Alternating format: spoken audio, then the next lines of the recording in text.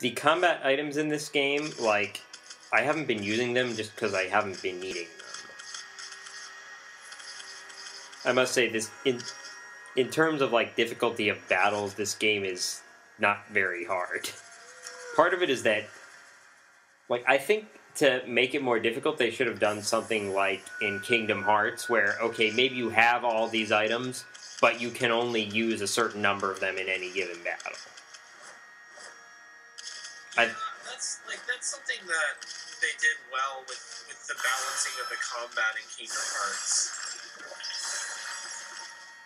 Is that like you can't pause and change your equipment and stuff during a battle because battles are sort of like they're almost like isolated events unless you escape the enemies. Well, it's not as rigid a system as in other RPGs because, like, you don't you don't uh, go to a separate screen or anything. Yeah. It's just you know your your um, menu box, whatever, will turn a different color, and the music will change to let you know that you're in battle. So it's like so now the guide was saying something about like three breakable statues, and it's and there's a wall behind them, and you can blow up that wall. It's like okay, three breakable statues here. Wait, there are also three breakable statues here.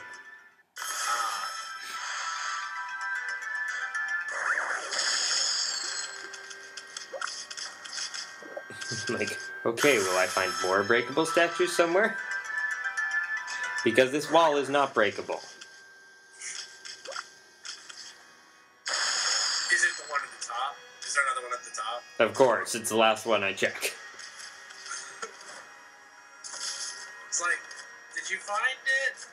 Be in the last place that you look.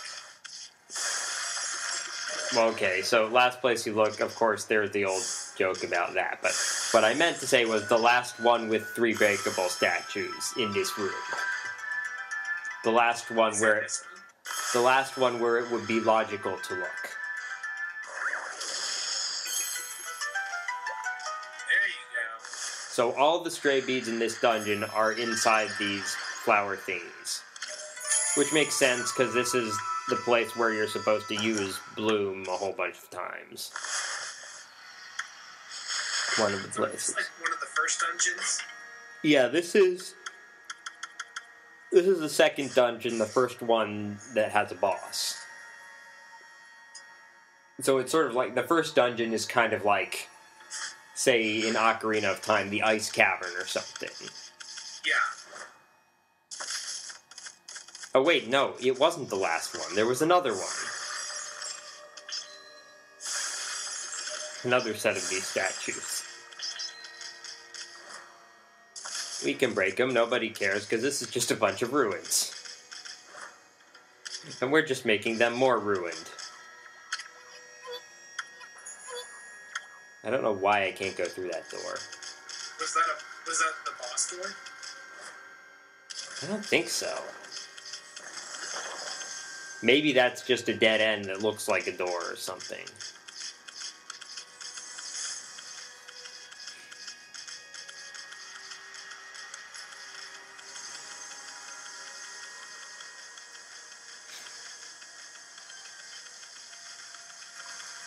Yeah, a lot of these were just a case of of me not looking carefully enough in some place.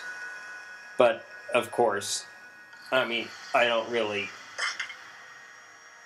I don't really uh, beat myself up for that because like I said, this is my first time playing the game. Of course, when I go back and look at stuff, it's like, really? I missed something that obvious. Not Well, the yeah, I mean, but it is. I mean, it is your first time, and a lot of times, what would seem obvious to you later, just because you've seen it so many times, like if you're seeing it for one of the first times, then you can't expect it to be obvious. Right, no, and I'm not talking about the stray beads around here. I don't think any of them is obvious, but like when I'll just run right past something that is clearly visible, like that I can see in editing. it's like that line in Dangeresque 3. Yeah, we'll cut it out in post. Well, what do you mean this is post? I think Strong Bad says that to the cheat at one point.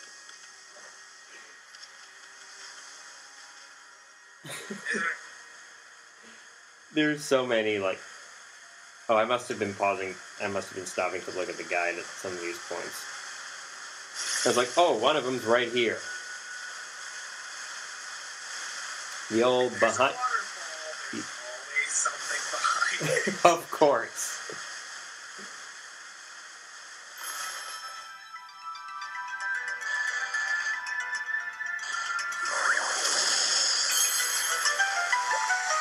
I'm kind of amazed that this file has gotten like 60 hours on it. Why did I do a bomb? No, you're not supposed to blow it up. You're supposed to bloom it. Yeah, you know what? 65 or 66 hours seems to be the magic number for me and, and, and games over the past couple years. I finished Final Fantasy IX in about that time. And then Kingdom Hearts 2. I ha- I actually put that on I I put a video on YouTube showing my like completion screen from Kingdom Hearts 2. I called it 110 stitches because because the, that was the summon I used the most, Stitch, and I used it 110 times. um, and then and then when I did Final Fantasy VIII for for YouTube, that was about how much time it took me. I think this one may take me a little longer than that though, because I still have a lot of stuff to do. Oh wow! I just went to your channel and you just hit 700 subscribers. Yes, I did. After like after several years. Between 600 and 700. I'm, I'm, I'm just thinking quick before somebody unsubscribes.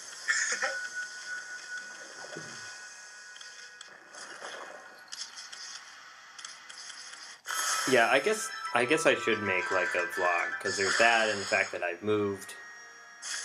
Yeah, I moved so that I would be closer to work because like the Baltimore area is one of the worst areas in the country for traffic. And the road the route that I took to work before I moved here was just the the roads are not well designed to handle the amount of traffic that they get. And it's especially annoying when you drive a stick shift car like I do. Now, I'm not sure how that caught only one of the clovers, but oh well.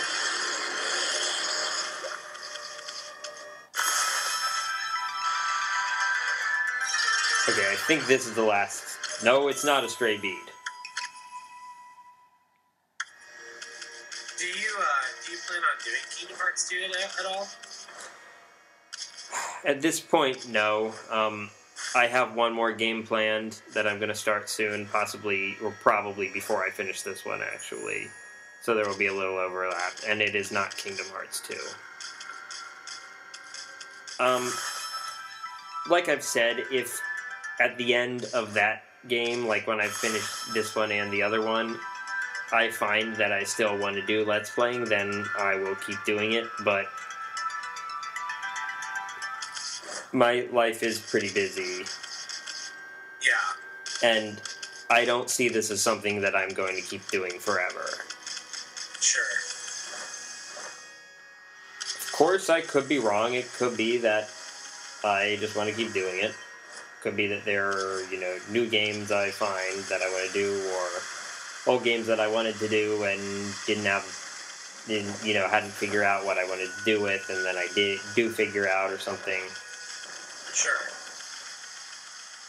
Like Banjo Kazooie is one I- I've wanted to do, for example.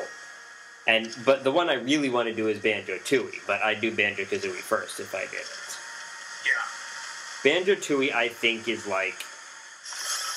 I think I think that game is the pinnacle of its particular genre, the sort of platformer collectathon genre.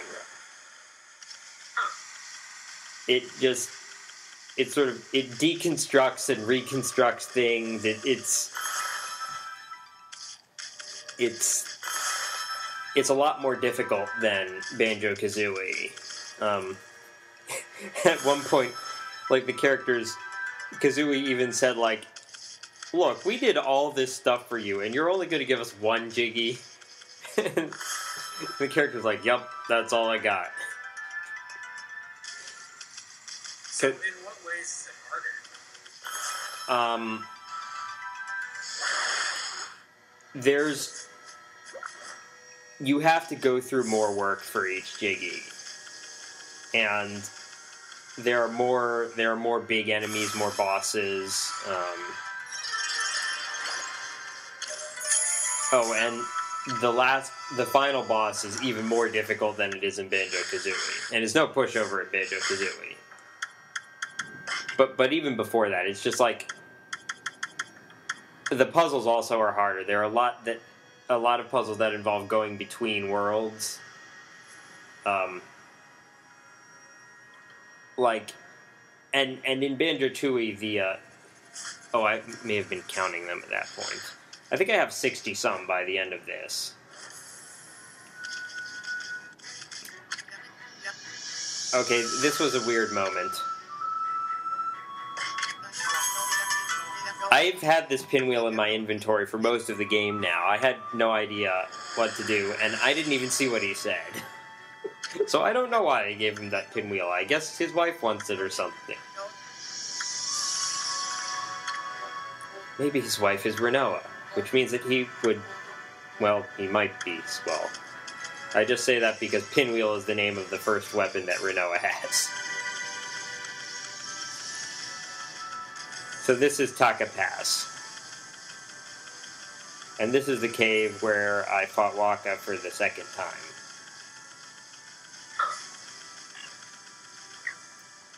The, the guide said, look into the very bright water. I'm like, what do you mean bright water? Oh, this is what you mean bright water.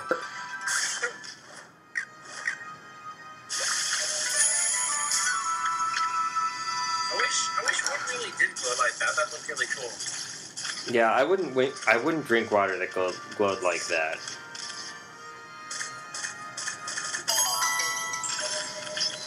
And once again, I'm looking for a stray bead and I find something else I missed. Of course, this being an early game Clover, it doesn't give too much praise. Wait, they were just. Their motions were. Yes, I just realized that now.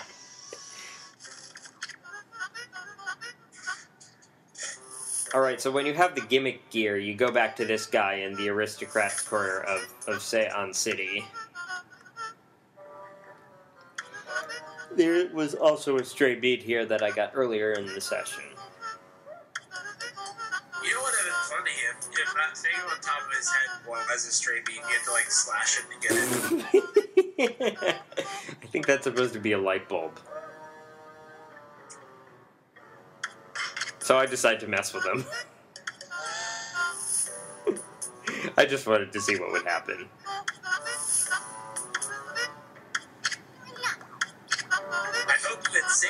Close to it because you remember when that got you in Super Paper Mario. Yeah, except I said no three times that time. And that was the beginning of the game. This is a side quest.